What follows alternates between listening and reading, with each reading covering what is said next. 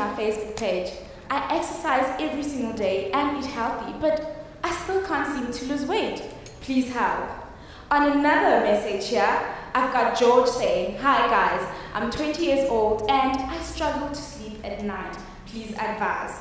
And in your text messages, we've got Lisa saying to us, I've stopped eating dairy products six months ago, but my acne is still spreading. Please help. Well, those are just some of the questions that we received from you. And right now, you watching Footprint Media Health with myself, Melissa Mashile, and I'm joined by the international renowned Christine. She's a lifestyle coach as well, and she'll be answering more of your questions after the break. Keep tuned in to Footprint Media TV.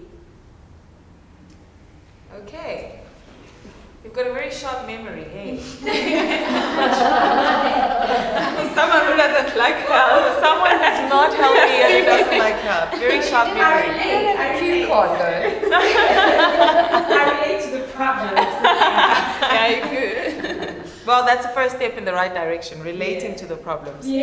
And um, I, I think you, you brought the script to life quite differently to what we've seen, specifically with this um, category. So um, I just, I love it. I love how you brought it to life. I love how you kept that smile on your face. And I just love the charm as well.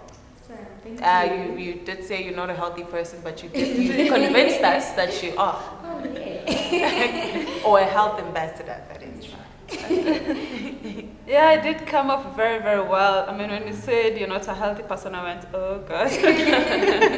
You're not going to nail it, but you did. Overall, it's, it's, it's a yes for me. It's a yes for me as well. Cool. All right, so you Well do the next round. Awesome.